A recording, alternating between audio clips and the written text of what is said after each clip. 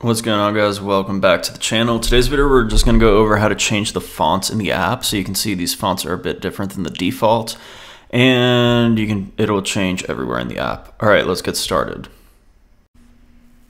All right, so the first thing we're going to do is go to our pubspec.yaml and add a new package, which is Google Fonts. Um, I'm going to be using version 0.3.2. That's the current version right now. So just go ahead and add that in and then packages get that. And then once we have that, it's actually pretty simple to start using the Google Fonts. All you have to do is import the package into the file that you want. So on this page right here, which is the in the views, this is the home view, I believe. So we can add that package here, which is the Google Fonts. And then really all you need to do is find where you have a text widget. So if we find where we have our title text widget here, uh, which is right down here, text title. Um, you go to where the style is, which this is uh, where this style element is, and actually we don't need these news here.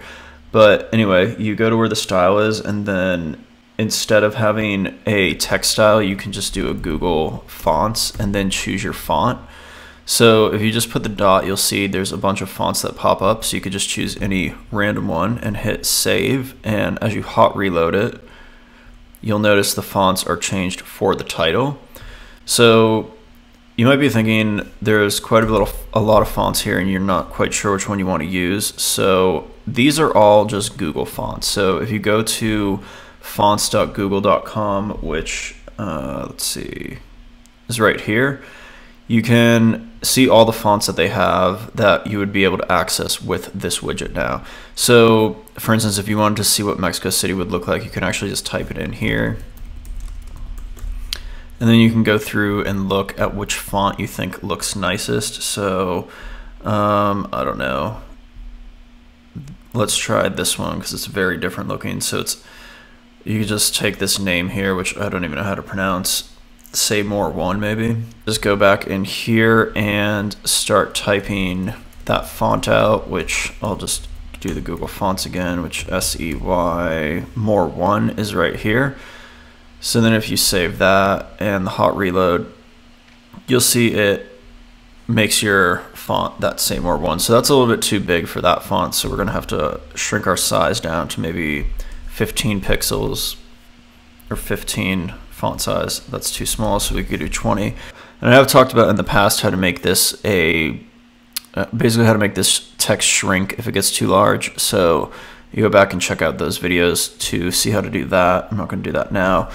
Um, but yeah, you can see these fonts are updating. So now you might be thinking like you want to just do all of the fonts in your app. So if you notice, there's like quite a bit of, this is all just the generic font and you want to change all this to be just the same font. Um, and it definitely isn't, you definitely don't want to have to go through every text field and, you know, add that font there. So the way you can achieve this is with themes. So themes are, we actually already have a theme in our app. Every app has a theme to begin with. And this happens actually in the main.dart. So you'll see right here we have theme data and the only thing we have set right now is the color. So that's the green color there. So if we were to, for instance, change this to blue and save it, now all of the all of the like details in our app that used to be green are now blue. So so that's a quick way to do that. But you can also here set the um, text theme. So we can do that real quick with text theme and then give the text theme here. And then there's actually various um, different options of the text that you can set, but right now we're just going to do the body one. Um, and we're going to set that to the Google font of, uh, let's see, we could do Oswald.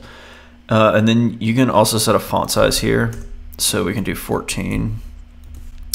And then when you save that, you'll notice these are all changed. All of the other text is changed um, you will notice that the the title here did not change, and that's because we're basically this theme data is going to be the base level, and everything can be over anything that's set specifically will be overridden. So another example is like you can look in here. uh, you'll see all this text is different. It looks kind of similar to our original text, so let's actually use bitter because it's very, I think it's much different looking. So, so you can see everything is is set to that text now. Um, if you were to just like I was saying with the override for the text, um, like we're doing right here, basically this title is is overriding our theme data to use that um, to use that text that we or that font rather that we set right here.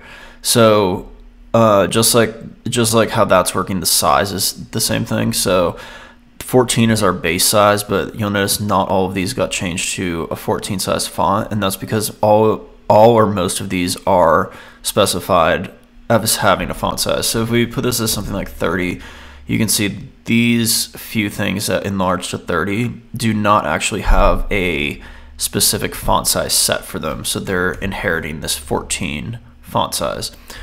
Um, so yeah, that's basically uh, how you can set all that up with the fonts and the themes I'll link to below. There's a few other things you can do with the themes. Um, this, I believe, is how you would get light mode and dark mode um, configured in your app. And you can also set it up so that the user basically passes this color value as a variable. Um, and you could maybe do that in their profile. If you guys are interested in seeing those specific things, uh, comment below and potentially I'll make a video about those. But, but yeah, this is uh, is very powerful. It's I mean, if you come from any sort of web development background, this is kind of like uh, almost like CSS for your app. Um, at least at least some parts of it. Um, yeah, check the links below if you're interested in learning more about these themes, but uh, that's going to be it for this video. If you haven't already, please consider subscribing, and I'll see you in the next video. Ciao for now.